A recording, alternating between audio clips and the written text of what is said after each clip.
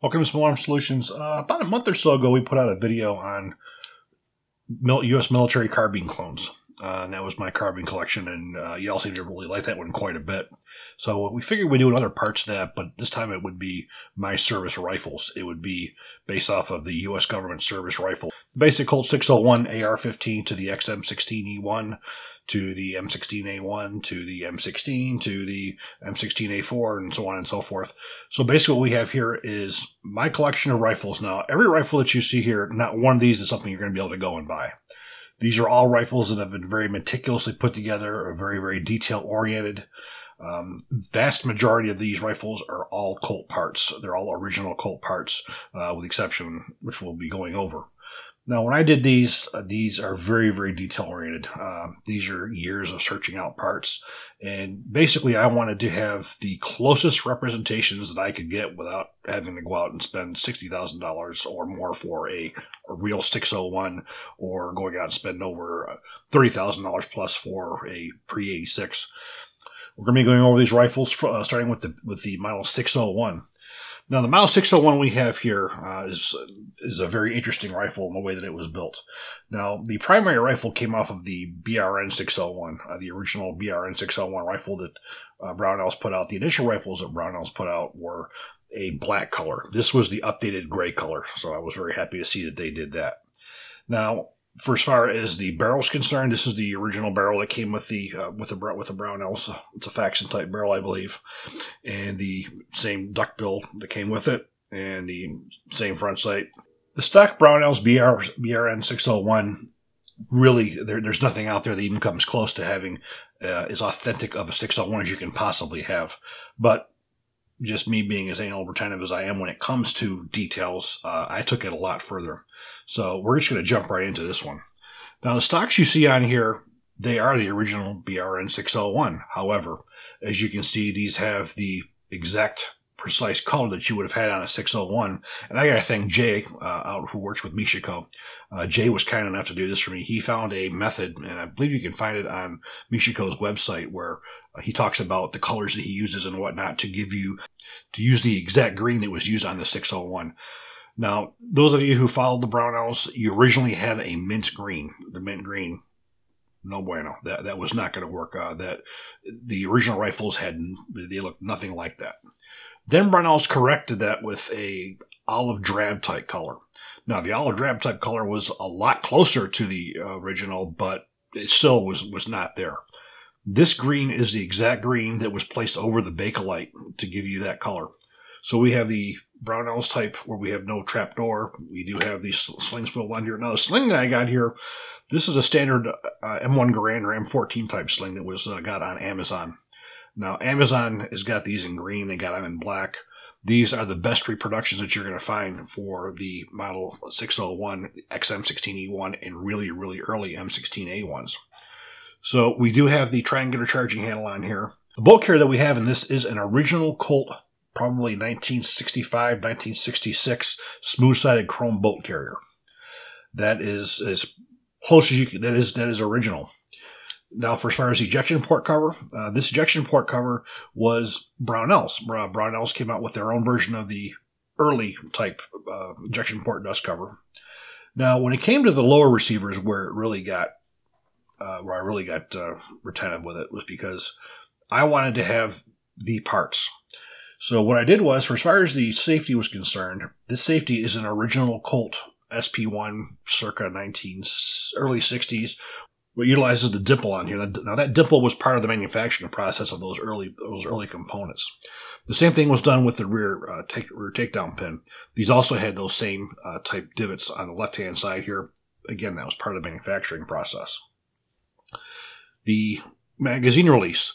The original ones had parallel lines, and so what I did was I contacted John Thomas. Uh, John Thomas did he does all these retro type, you know, he retro uh, rifle components, and he made that from scratch.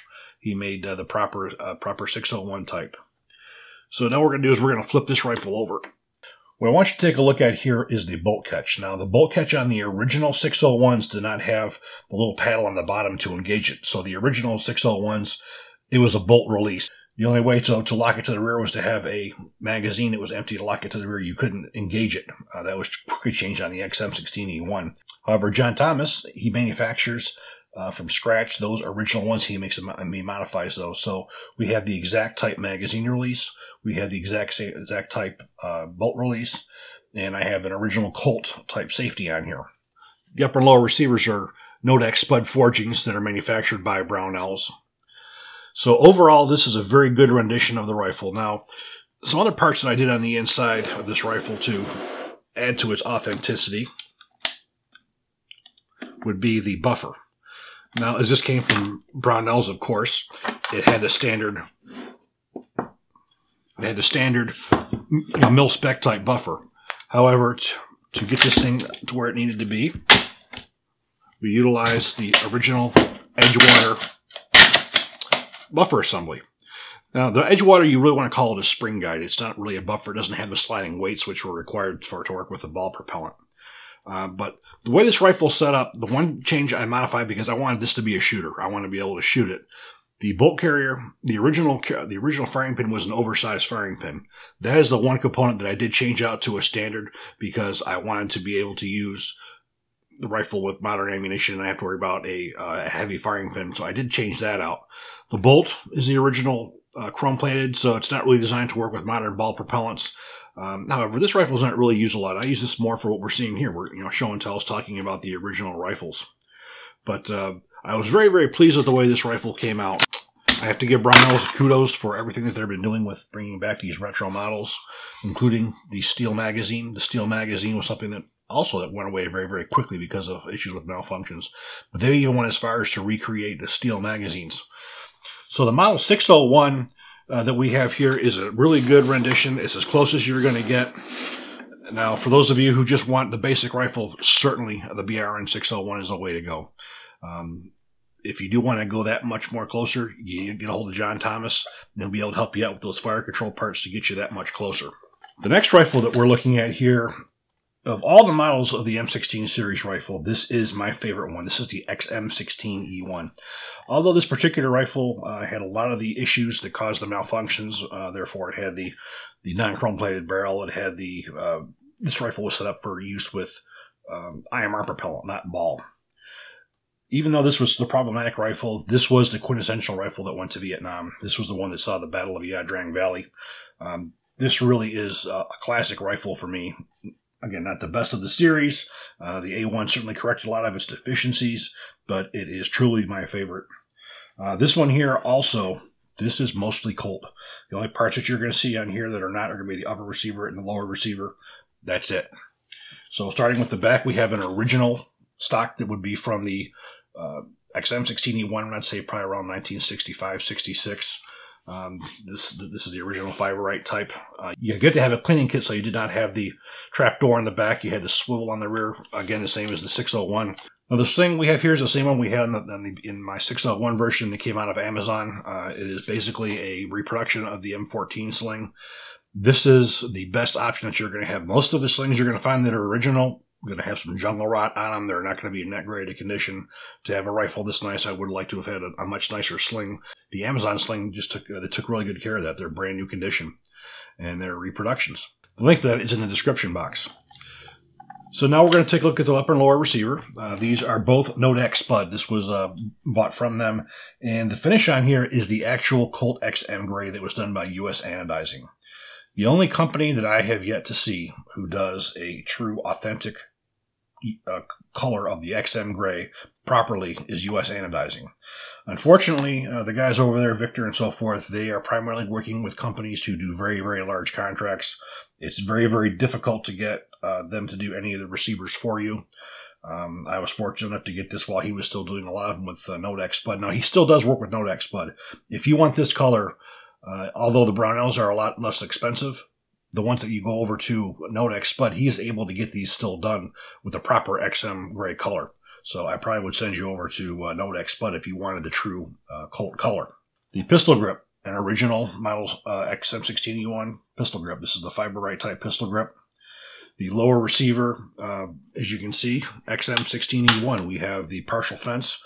This was a requirement that came really, really quick because soldiers were going to be losing their front pivot pins in the fields in Vietnam. So they made this captive.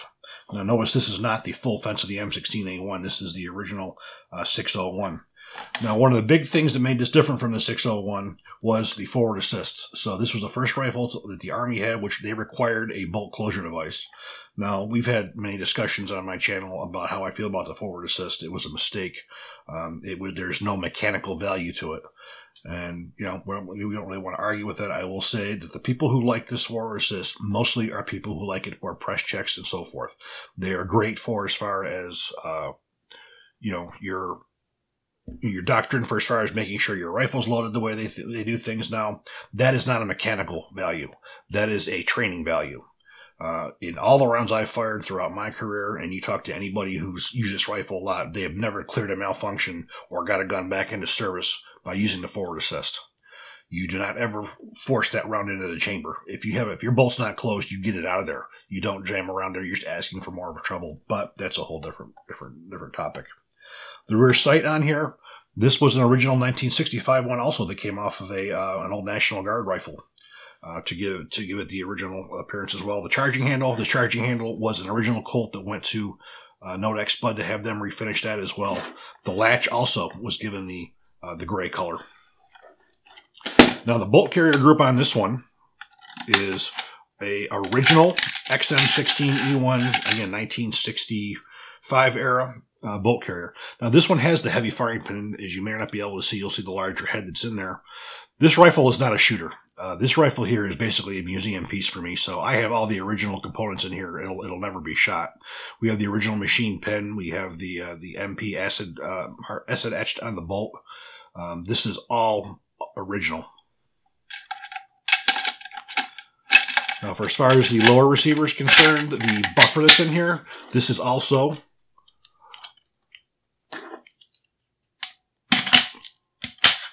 This is also the Edgewater buffer. This is the way this rifle came.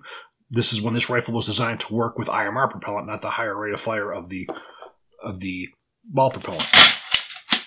Now, for as far as the safety on here, the selector is the more current, uh, where it has no dimple on it, but it is still the original uh, safety. Uh, that was just all refinished. Now, for as far as the smaller parts on here, if we look at the front and rear pins, we look at the uh, magazine release trigger guard, we look over to the left hand side, we're going to see the bolt catch, the magazine release, the safety. All these parts were sent to John Thomas to have refinished in the gray finish so it would match the original finish. All parts, original Colt parts. Now we look into the barrel. This is an original uh, XM16E1 barrel. It's marked 12 on the bottom. This is the one that was not chrome plated. This was the original barrel that caused the significant problems during the Vietnam War by having by having the pitting in the chamber, which caused the failures to extract. Which many people uh, felt that that was due to lack of cleaning, which caused that failure. No, it was not. Once you had that uh, that pitting in that chamber, doesn't matter how well you kept the gun clean, you were going to have the failures to extract, which is one of the big misnomers of, of the rifle's performance in the Vietnam War. Also, this has the original gas tube. This gas tube is the original one. Uh, there's a difference in the way the rifle, the gas tubes are bent, so you can tell a older one from a newer one. The original gas tubes were corroding, uh, and they were causing problems with uh, with malfunctions as well because of the corrosion that was happening to them. That part was changed out as well. The front sight base that you see on here, this is an original machine front sight base. It's not the cast that you see on the M16A1. You have the original three prong uh, flash suppressor on here. Now, for as far as this rifle being a shooter, as I said, this is a museum piece. This is all original components to build the most accurate XM16E1 that I could possibly have. And again, this this literally is probably one of the favorite rifles that I have in my collection. I would love to have an original Colt, but again, you're looking at thirty thousand dollars. But all the parts are original. The next rifle in the lineup would be the M16A1. The M16A1 had all the changes that were necessary to make the rifle work with ball propellant. Now, the ammunition was not modified around the rifle. The rifle was not modified around the ammunition, and it was also redesigned for the most part to work in that in jungle environment where you had the heat, the humidity, and so on and so forth. So it had all of the changes. Now, this rifle here is all Colt, all original, probably late 70s Colt components, with the exception of the lower receiver. The lower receiver I have on here was an 80% that I did, and I had had engraved with Colts marks, and these particular marks are the export marks where it says Colt M16A1. By looking at this rifle, you would think you had an original Colt M16A1. The only thing that's missing here is the auto sear. Uh, everything else on here is original. So what we're going to do is we'll go over it. This is an original stock, and as we can see from the rear, we have trapdoor for the cleaning kit that was uh, introduced around 1969 or so during the Vietnam War. The upper receiver, uh, Colt Kaiser upper receiver. This was, uh, again, 19, I would say, late 70s. Now, this rifle was refinished. Uh, the upper, well, upper receiver was refinished and the lower receiver was finished. This was done by U.S. Anodizing. I was able to talk Victor into doing this one for me. Um, as you can see, this is absolutely gorgeous. Uh, the upper was refinished, and again, the lower was finished. This is the exact colors of the, the M16A1. Lower receiver uh, components. The entire fire control group is all Colts, uh, with the exception of the trigger being uh, semi-automatic only. We have the updated buffer in here. We have the standard manganese phosphate bolt carrier group in here, MPC marked uh, bolt, and we have which has been shot peened to handle the uh, the the higher rates of fire of the created by the ball propellant. We have standard A1 rear sight. Now, if we notice the lower receiver, we have the full magazine fence, or we refer to as a boss. The whole purpose of this was with the rifle was to be dropped on a hard surface, you wouldn't disengage the magazine. Uh, and this this rifle here would serve probably from 1969 right up through its replacement in 1985 in the U.S. Army with the M16A2, but they would be seen well into the 90s and well into the Gulf War One with uh, the air, especially with the Air Force, and then of course the National Guard, uh, who were the last ones to get the you know newer updated M16A2s. Handguards, original Colt, slip ring, original Colt. Uh, we have the upgraded gas tube. Now the M16A1s did have a for a forged front sight base, which is what you see here. The barrel on here is marked CMPC chrome bore uh, which is probably you know, the late 70s to early 80s, is the way the Colts 1 12 inch barrels were marked. You had CMP C, CMP B, then CMP chrome bore, which is what this one was. You have the birdcage flash suppressor on here as well. So, uh, quintessential rifle. Um, again, all Colt with the exception of the 80% lower receiver. Now, those of you who are in the Air Force, uh, this will look a little bit more familiar. Now, we have the M16A1 versus what we have here is the M16. Only one difference lack of forward assist. The Air Force uh, was not interested in the forward assist. They knew that it wasn't needed, so they saw no reason to add it to their rifles. So the rifles that the Air Force bought uh, early in the Vietnam War did not have it. Now these rifles here would be seen well into the 90s as well in the Air Force. In fact, what ended up happening with these rifles uh, and even 601s was these would be updated with conversion kits to turn these into M16A2s, which we'll talk a little bit more when we look into the, the A2s. But the rifle we have here is the M16. It is the exact same as the A1 minus this. Now there was one difference, and this was eventually changed as well. Now when you take, take a look at the bolt carrier we have here, we have a manganese phosphate carrier, but you notice that there's no forward assist notches. Now for the earlier part of the Vietnam War, right up through probably uh, the real early 70s, there was two different part numbers. You had with and without forward assist notches. The Department of Defense decided that uh, this particular bolt carrier would not work in the A1, but the A1 would work in both. Uh, so they they stopped production of the bolt carrier without the forward assist notches in favor of just the uh, the standard one with the forward assist, and all spare parts would go out that way. So you would see Air Force rifles with both of these with both of these types of carriers. But other than that, it's the exact same. Now this the components on here, the the upper receiver is completely Colt. We have a barrel that's marked CMPC, which would be uh, chrome chamber only. So this would be more of a transitional type barrel uh, from going from the standard barrels that were corroding in Vietnam to the chrome chamber only. This wasn't done very long. They eventually, uh, as soon as they got the process done, went to the full chrome bore and chamber. This one here still is an early rifle uh, from the Vietnam era. So you had a machine front sight base instead of a forged. Now, many of the M16s you will see will have uh, the the forged as well. So it would depend on when the rifle was uh, was was manufactured. The lower receiver on here is uh, is PWA or PacWest Arms. This was Carl Lewis. Uh, Carl Lewis manufactured these in the late 80s. Uh, M16A1. He also made M16A2 type lower receivers. Now, this lower receiver was refinished uh, by a company in Connecticut, which is called Light Metals.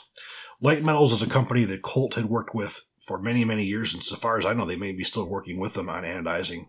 Uh, back when this was done, they were still doing some of the Colt gray.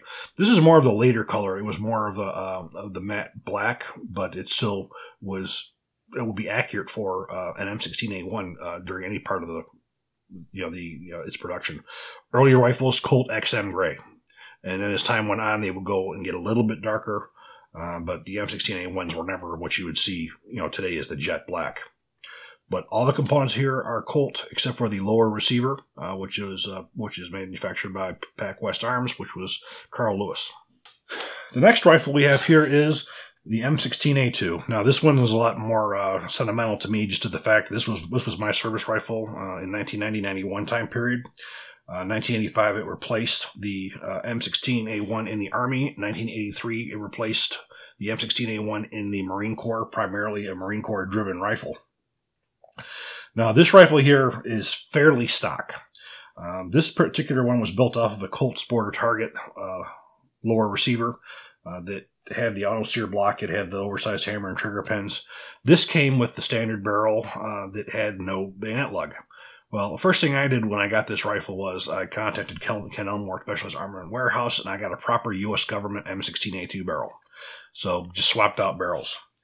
The other thing that was changed was at the time this rifle was put out, this was when they were putting out the standard front pivot pin, but they had a screw and collet on the left hand side. I didn't like that.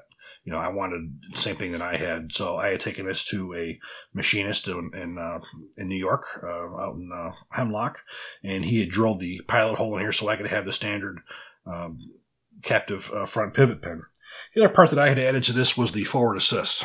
Now, if you look at the forward assist, you will see that there is a flat on here. This was a very early forward assist that was uh, placed on early M16A1s. When the A2 came out, they had the reinforcement on the rear of the receiver.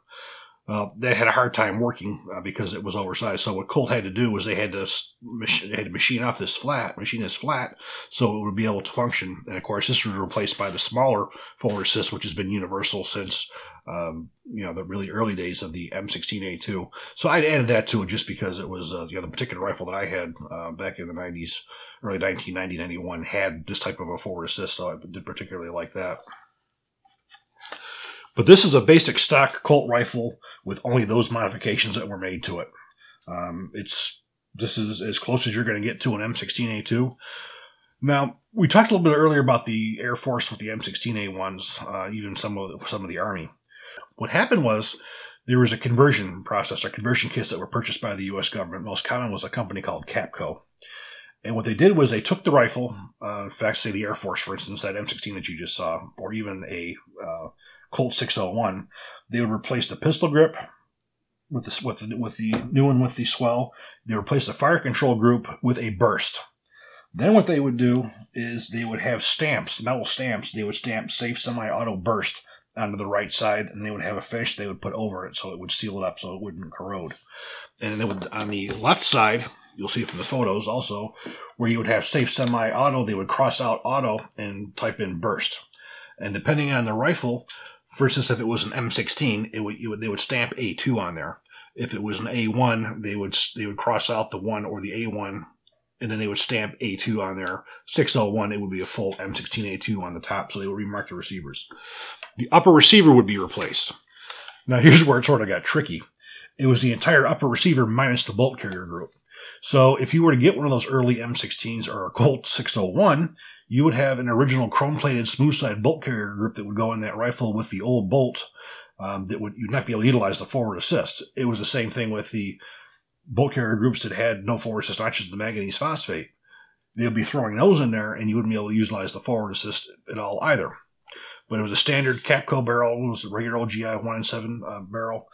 And these rifles would be used right up through, well, for, the most part, right up through the start of the uh, the global war on terror uh, after 9/11. Uh, at that point, most of the units that were deploying would be utilizing new, newly produced M4s that would have replaced them. However, you still would see rear echelon units or non-combat elements that would have these modified rifles. Um, I can remember when I was in Afghanistan, I ran into some Air Force guys and I took a look at what they had. And one of these guys even had a Model 601 that was modified. And instead of using the stamps, a guy used like a scriber to, to, to do safe semi burst. And in fact, that rifle, when you pull the bolt back on it, you had to basically stand, you know, you had to stand on the front, the front sight base to pull the bolt back. The parts were so were so messed up with it. But uh, many collectors you'll see uh, who are in the Air Force, you'll see will go out and they'll get those Capco kits, and they'll even go as far as to to make rifles with modified marks look like the same thing that they had. But uh, that was one of the things that was done mostly Air Force. I can remember um, uh, probably early 2000s helping out the guys at, in Wisconsin at the air at the air base out there at uh, Mitchell uh, Airfield doing conversions on a lot of their original 601s and their M16s uh, into uh, A2s. But fortunately for those guys, by the time they were, they went to actually deploy, they were able to get brand new M4s. The last rifle that we have here would be the M16A4 rifle. Now, this rifle here is very, very highly modified. This particular rifle was built off of a Colt AR-15A4 lower receiver. Now, Colt introduced the AR-15A4 rifles as an M16A4 type rifle. Now, I want to say type rifle because it wasn't exact. The way the rifle was originally bought, it was just a lower receiver, and the upper receiver that I placed on here was an original Colt M16A4 upper receiver. And I'll tell you why. The AR-15A4s that came out, uh, they were not, for, for, those of us who were purists, we wanted them to be exact, they, they weren't really. The rifles do not utilize extended feed ramps on the upper receiver and the uh, barrel extension. The rifles that Colt was putting out, the A4s, utilized M4 upper receivers with uh, feed ramped barrel extensions uh, on the barrels. Also, most of those barrels that were used on the Colt AR-15A4s were basically M16A2 barrels. They were not F-Mark front sight bases, so they were not the exact production parts. Yeah, I spoke to Justin there, and he was saying, you know, the whole point of the AR-15A4 was not to be an exact M16A4. M16A4. The, it was to have some of the updates uh, with some of the more modern and to give you know, the customer what they wanted. Uh, so the original upper receivers were sort of a hybrid. Uh, they weren't exactly M16A4. And again, me being a purist, I had to have the exact um, M16A4 upper receiver, F mark front sight based, uh, CMP 1 slash 7 NATO I wanted on there. And this rifle here is set up uh, basically as the Marine Corps rifles were. You have the the RAS um, M5 on here, the, the, the handguard. You can see we have the uh, Knights rail plant panels on here as well. We have a, the, the broomstick handle pistol grip. Now I did add the this Insight Tech light on here. This is the sling that would be utilized by the uh, Marine Corps as well. Now the upper receiver, two other modifications that were made. First, I had a notched safety on here. The the safeties that came with the well, pretty much all of Colt's rifles had no notch on there. It says safe and fire, but it didn't have uh, the notch on here. And you know, I've talked to you guys about that. That was one of the things that I did when I was at Colt. Uh, I tried to convince those guys that everybody else has marks on the right side of their rifles. Why don't we?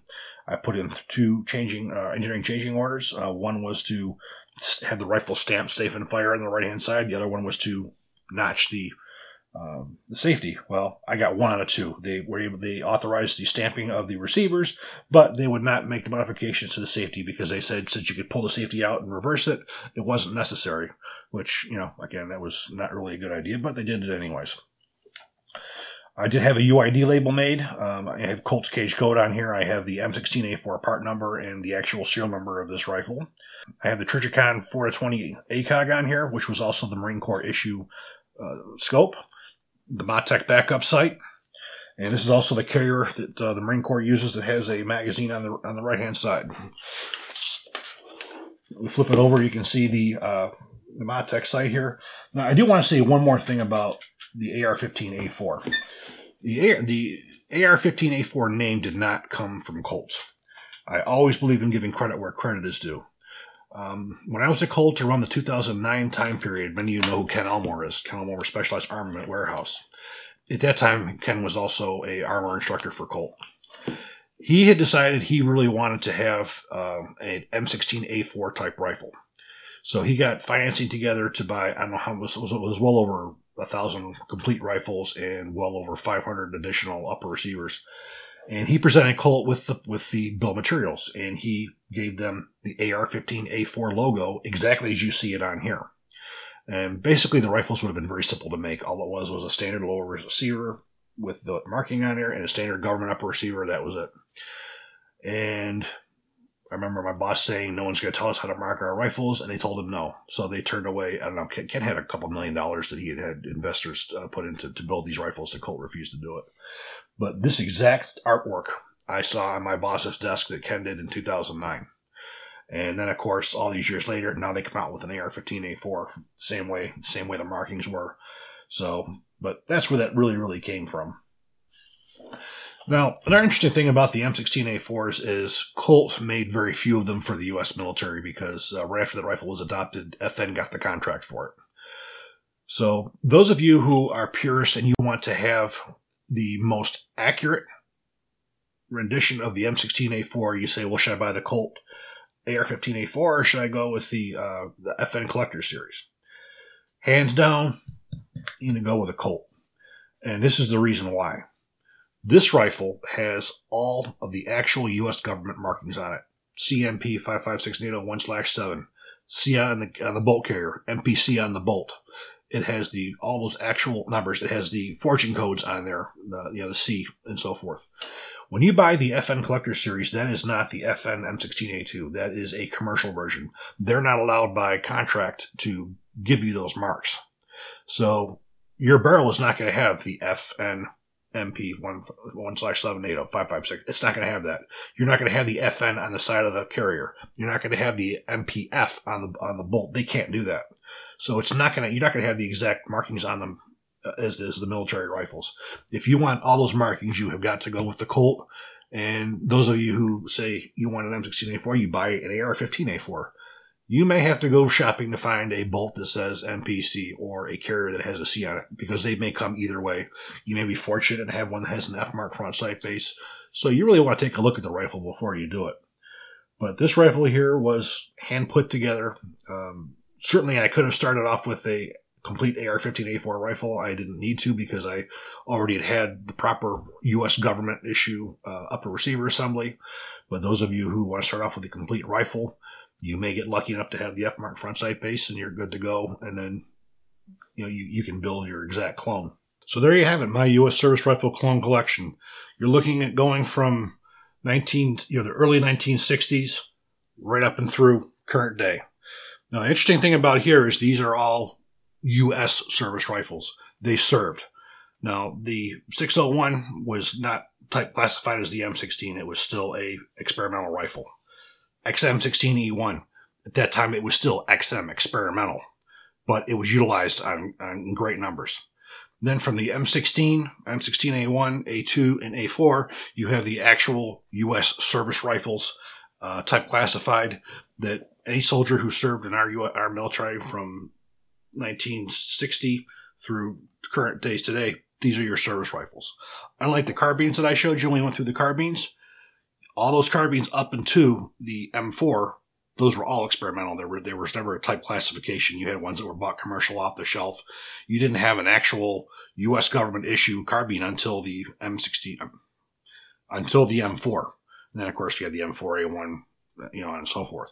But this represents the U.S. service rifles for the last 60 or so years. And the companies that you really need to take a look at you want customized components for the earlier rifle ones, John Thomas. Uh, for as far as the lower receivers are concerned, uh, the Braceman was the one who did most of them, but uh, unfortunately, Colt uh, basically shut him down for as far as being able to do Colt markings because of trademark. So, but he can still do other ones like Diemaco. He can do some, you know, FN. He's still doing FN. He's still doing some other ones as well. For as far as the finishing is concerned, that's the real hard one. It's uh, trying to get those original finishes. U.S. Anodizing is the place to go to, but uh, I think you'd be really uh, hard bent to be able to have them do individual rifles. Those of you who want to build those rifles that have those original finishes, you're going to have to go with NoDak Spud for as far as to get the proper finish. Uh, the, the Brownells uh, series, you have the BRN 601, the BRN 16E1, you have the BRN M16A1, you have basic rifles are all these that uh, they're not 100% correct, but they're in the 90s. Uh, you'd be able to get those parts to modify them, or if you just want shooters. None of these guns here are really shooters. These are all more of my collection. I have other guns that I shoot. Uh, I just wanted these to be clone correct. So, I hope you all did enjoy this video. If you do, please click like, please subscribe, and even better, share. Thank you.